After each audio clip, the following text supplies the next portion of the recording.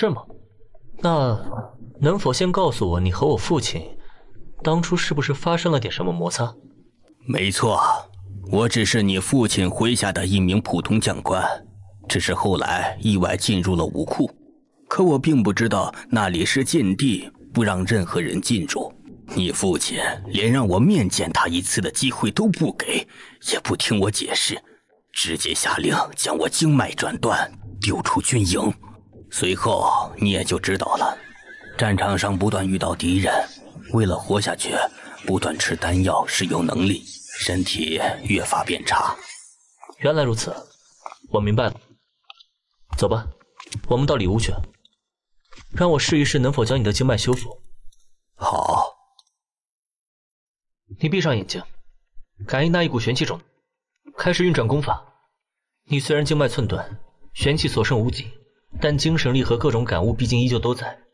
冷静下来，控制体内玄气，引导我的这力量行走在体内经脉之中。这这真的能行？有一股精纯的能量灌注进来了，虽然绝大部分都从破损的经脉之中漏掉。可终究还是让玄气丝壮大了一些，经脉也开始有了修复的迹象，还真是难以想象，这个人人口中的废物楚天书为什么会有如此磅礴的能量的？摒除杂念，继续运转十个大周天。呀！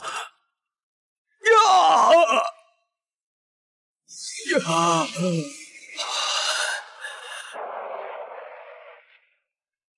成。居然成功了！破损的经脉已经修复了百分之八十以上，即便楚驸马不再帮助，我也有把握自行修理剩下的创伤。你无需行此大礼。不，侯爷此举对于我来说等同再造之恩。难道这人认为我为了给他治疗，耗费了自己的修为？也罢，现在先暂时不说破好。快起来吧，有件事情。我得提前告诉你，其实我和楚家的关系并不好，大母和大哥甚至巴不得我早点死。楚艳红也对我的生死根本不在意，我也是在从小隐忍之下才活到现在的。所以侯爷才一直不敢表现的太优秀，一直让别人当您是败类、废物，免得引起大母的杀机。嗯，算是吧。我是穿越而来的，说出来你也不信。侯爷也不容易，现在为了属下，更是耗损了那么多的修为。属下，属下，文涛不必有心理负担，我的修为也会很快恢复。重要的是，我现在身边缺少像你这样的高手辅助。可，可毕竟，我将来可是要管理那么大一片领地的，少了你们可不行。原来如此，难怪他要费力招揽人才。原来是在为开衙建府做准备。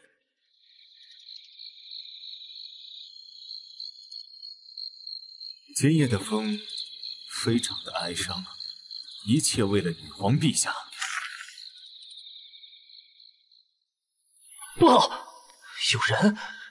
御林军今天刚刚撤退，不会这么巧吧？欧耶，外面这动静，难道是刺客？快取武器！随我出去看看，他们居然来的这么快，这么晚公主不会出什么事吧？不好！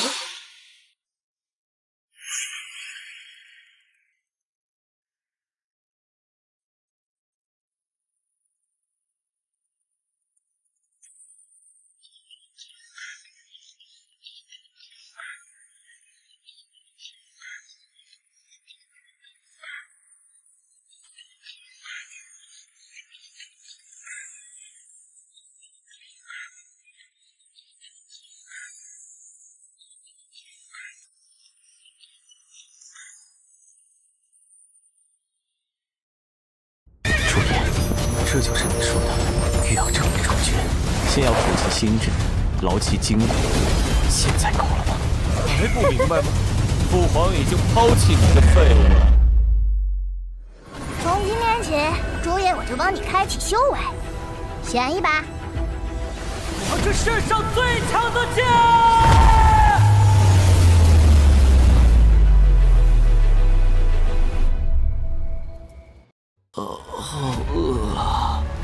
给我送点吃的？我要吃了你！人类，借你小命一样！不，不可能！你明明已经和凡人无异。不不，饶我一命！接下来就让我见识一下无敌剑域到底有多强吧！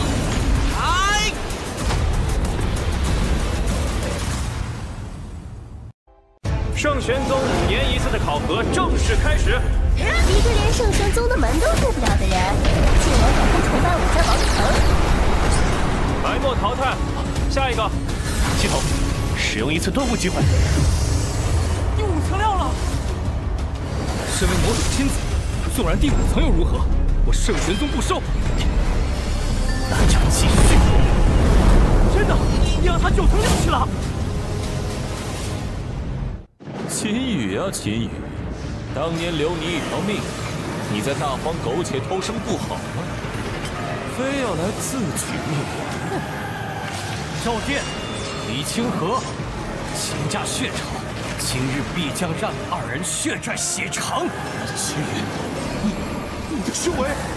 不可能，他明明已经经脉尽碎，成为废人，怎么会？让我见证一下你的能耐吧，秦羽。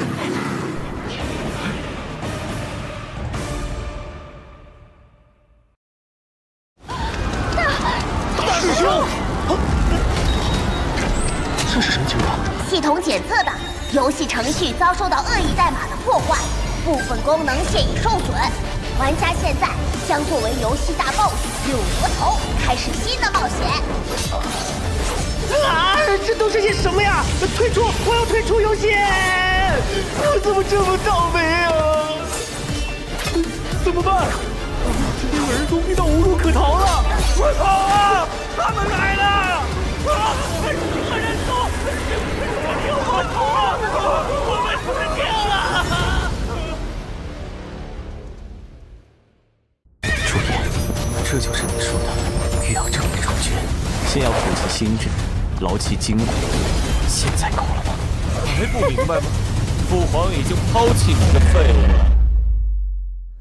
从今天起，朱爷我就帮你开启修为，选一把。我是世上最强的剑！